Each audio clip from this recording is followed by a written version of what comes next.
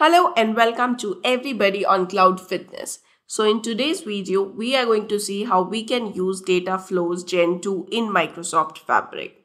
So I hope you guys are watching all the videos sequentially as well as you guys are practicing hands-on in your own systems as well because that is very important in order to learn this. So let's move ahead. But before moving ahead, I do recommend all of you guys to connect with me on LinkedIn as well as on Instagram and I'm going to leave the link in the description box. So let's move ahead and see how we can use data flows in Microsoft Fabric. So you can see here I am in my Fabric workspace that I have been using as part of this particular playlist. I am in the data engineering workspace and this is the lakehouse that we have created. So now for the Gen 2, uh, for the data flow, you can directly click on this new symbol over here. In fact, there are multiple ways to uh, go into data flow. But uh, let's proceed from here. We will click on the data flow gen 2. Now, the moment I click on data flow gen 2, you will see the whole, whole UI. Now this is nothing but eventually it's a Power Query itself that helps you to transform the data. It helps you to clean the data. It helps you to process the data. So if you have data sitting somewhere and you just want to do a little bit of processing, you can go ahead do it in the Power Query over here, which is nothing but the data flow you can take in the data from multiple different sources and you can load the data as well into multiple destinations this is what we are going to see over here. Now, if you see here, it mentions data flow. You can rename it anything. You can say, you can call it as data flow demo or anything that you want. And if you click on get data over here, right, and click on more. Now, the moment you do that, you will see different, different sources. You can click on view more and you will see that there are a number of sources from which you can pick up the data. You can directly upload the data as well. So if you have the data in your system, you can upload it. If you want to have it as a blank table, you can even put in the data manually as well. But here we will go and check the different different sources. So let's say you have a Excel file, CSV file, PDF, Parquet, SharePoint. From all of these sources, you can add the data. Similarly, from multiple different databases, be it Snowflake, be it your SQL database, everywhere you can check check different sources. Most of them are already available over here. Similarly, if you want to use Microsoft Fabric, you can go ahead use the data within the Microsoft Fabric itself. Similarly, if you are want to take the data from the Dataverse, that's also possible from any kind of Azure service like your blob storage, your SQL database from all these different services also you can import the data. Similarly you can go ahead check if you have any other data source where you want to you know pull in the data from you can check it you should be able to. So now in our case we are going to use the data that we have already loaded into the customers table in Microsoft Fabric. So that's why I'm going to choose Microsoft Fabric over here and I'm going to select Lakehouse. Now this is nothing but the connection that I have to provide and then let's click on next. So the moment you click on next, you will see that your fabric workspace is available over here, right? Now in this fabric workspace, you click on the file section over here and you will see that these are the, this is the table that we had created. So now in this case, in order to import the data, I'm going to just tick this particular table which means I just want to pull in this table and click on create.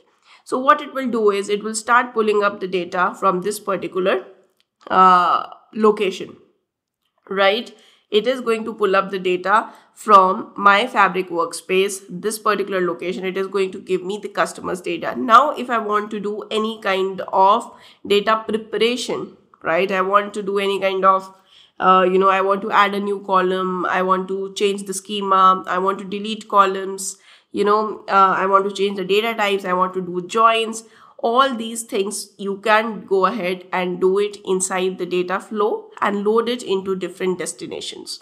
Now this part, if you look at the UI over here, it is nothing but it is pretty same as your visual query or power query right? So it's pretty much same as the Power Query itself. I'm not sure why they have named it as data flow. In fact, they could have directly called it as Power Query as well.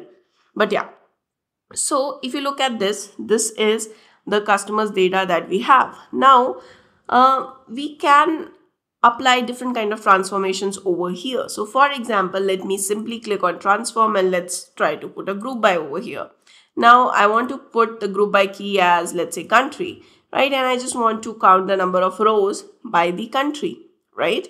And uh, and let's click on OK. So the moment I do that, you will see that a group by happens and there is a step that gets added over here, right? So if you see on the applied steps, you can see a group by has been added, right? So like this, if you want to add a row, you want to remove a row, all these things you can actually go ahead and, and apply on the data set right? So let's say this is the data set that you have got. You can filter the rows if you want to. Let's say we want to filter the rows where count is uh, let's say where count is equal to 3 and let's hit ok right? So probably we are going to get one row over here which is india right? So like this you have also applied a filter over here.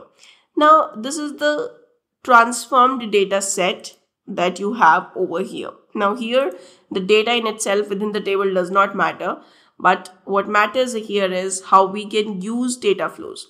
So now if you look at this you have two views over here. You have a query view right which is nothing but a diagrammatic representation and you also have a tabular data view. So if you go on the right bottom you will see step right? So the step is nothing but these are the steps right? And then there is this view right? If you look at this the data view.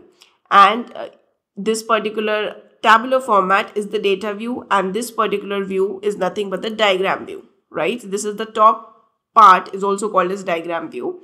And then show schema. So if you want to view the schema you can actually go ahead view the schema as well. Now again i'll go back to the data and diagrammatic view. So now if you look at this right at the bottom of the query setting you see something called as data destination. And similarly you can see add data destination over here.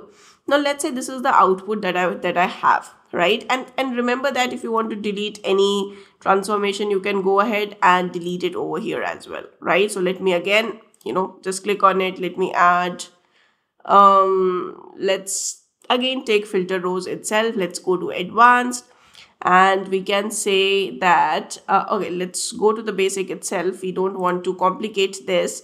And we will simply say or in fact let me go to advanced itself. And we can simply say where count is equal to 2 and count is let's say greater than okay this is just this is just a random uh you know condition. So do not think much about the condition over here okay so now you have the filtered rows. Okay it did not lead to any data. Let me go and recheck the condition over here. Okay instead of and let's keep it as or and let's again click on okay over here. Now you will see that you have the countries where the count is greater than or equal to uh, 2 so now once you have this we can go ahead and check the add destination data. Now i want to put this output table at a specified location. I can do that using add data destination over here. I can load it to a warehouse. I can use Data Explorer, I can use Lakehouse, I can use SQL database. So in our case, we are going to use Lakehouse and the same option you see on the left, uh, on the right side as well to add a data destination. Now, if I click over here, let me click on Lakehouse and again, you will see that it will ask you for a con connection. And let's click on next. And it starts validating the connection. Now it's asking you, okay, uh, where you want to store the data. I want to store the data over here. And then I will say what should be my table's name right? I let, let let's call it as aggregated right? Underscore customers underscore data flow. So let's call our table with this name and let's click on next right now you will see the moment you do that it tells you the column mapping right this is the country this is the count this is the source type this is your destination type so it is telling you a kind of a mapping between the source and your target. Now source is nothing but it's within your Power Query and target destination is nothing but where you are going to store. So in this case, it's the lake house and let's click on save setting, right? So the moment we click on save settings after that what you can do is you can go ahead and publish this power query. But remember that everything is getting auto saved right? Even if i do even if i close it this i have explained in my previous video as well. Even if i close everything from here still i will be able to see it when i come back because everything is getting auto saved over here.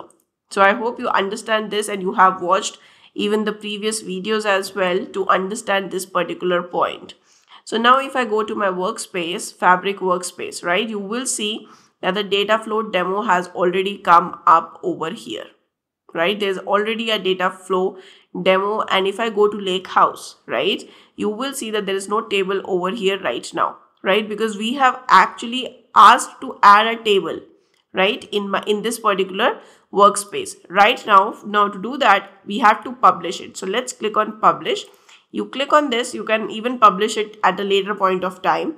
You can publish it right now as well. So let's publish it now. And the moment we do that you will see that it starts publishing right?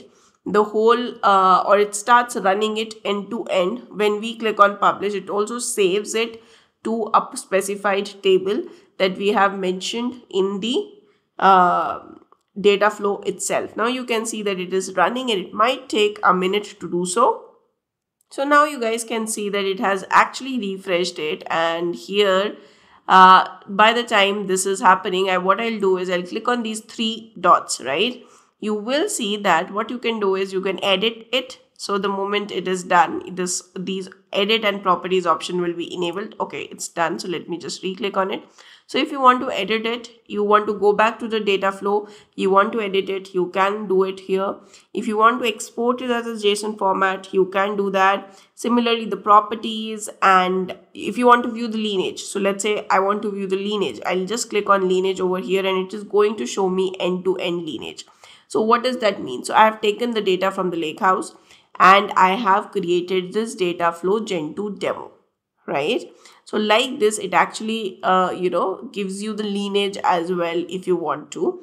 Now i'll just go back and i'll again click on these three dots. Similarly you have something called as refresh history. So if you are if you want to schedule it if you want to have a schedule around the refresh you can put a schedule as well and again if you want to edit it edit the data flow again you can go back and edit the data flow here as well so I'll just close this and I'll go to my lake house. Now you can see that this aggregated customer has appeared. Now this table that we have created has appeared here as well. So now let's click on, okay, in fact, it's already open. So now you can see the country and count, right? So this is what we have got as the aggregated table on top of our customers table. So this is how you work with the data flow and this is how exactly data flows helps help you to prepare your data and you can take the data from multiple source systems you can load it as well into few different